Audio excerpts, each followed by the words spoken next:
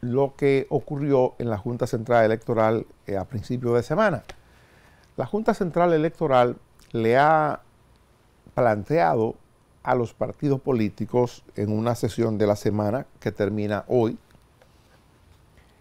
la posibilidad o la conveniencia de utilizar los equipos que se adquirieron en el año 2016 y que de hecho se intentó y se llevó parte del proceso del 16 con ellos, los escáneres estos que permitían eh, el voto manual, pero garantizaban la transmisión de resultado por escáner y cuando usted hacía el voto, escaneaban el voto y ya los partidos políticos, los medios de comunicación, los ciudadanos podían saber el resultado de cada colegio electoral.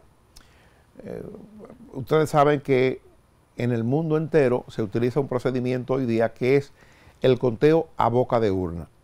Cuando aquí descubrimos en la gestión de la Junta Central Electoral del año 2016, que la encabezó el doctor Roberto Rosario Márquez, cuando se implementó el proceso, determinamos que lo de encuesta boca de urna no era necesario, porque ya los partidos políticos, los medios de comunicación teníamos el resultado de los colegios electorales porque en cada colegio había, una, una, había pantallas y en las pantallas se daban a conocer el resultado del colegio.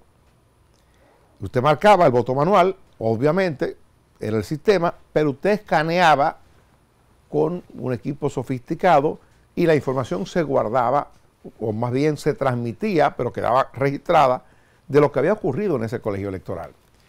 En la administración del doctor Castaño Guzmán, Julio César Castaño Guzmán, una verdadera pena, porque un hombre con su imagen, con la dimensión que tenía, hasta el tollo que ocurrió en las elecciones con lo de la parte municipal, que estableció un, desarrolló un software que no sirvió y que el país se vio a punto de una guerra civil. Nos vimos cerca de una guerra civil por un tema de mal manejo de la Junta Central Electoral del doctor Julio César Castaño Guzmán. Eso se quedó así. Esa tecnología que la Junta implementó en el 16 se quedó así. Eso se guardó. Y se hizo una inversión millonaria para comprar equipos nuevos. Y no ocurrió nada. Nadie respondió por eso. A nadie responsabilizamos por eso. A nadie estamos llamando para que responda la justicia por eso. Pero el Estado dominicano pagó una fortuna por eso. Entonces yo creo que eso hay que decirlo para que eso conste, para que eso quede. Siendo responsable hay que decirlo. Nos vimos al punto de una gran desgracia nacional. Afortunadamente, los partidos políticos jugaron su papel y la militancia de los partidos se entendieron y el asunto transcurrió en calma, a pesar de los momentos de angustia y de incertidumbre que se vivió en el país en ese momento.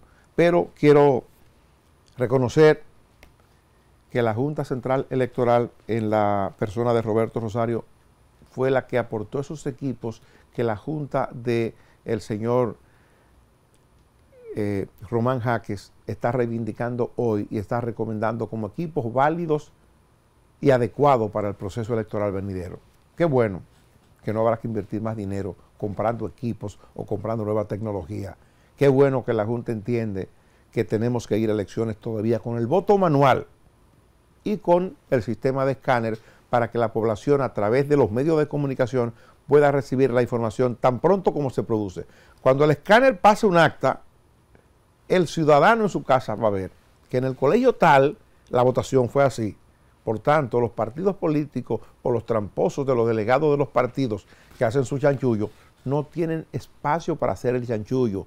Y entonces, a partir de ahí, tenemos garantizado un proceso electoral diáfano, acorde con lo que la población decidió. Eso es lo bueno de ese sistema. Pues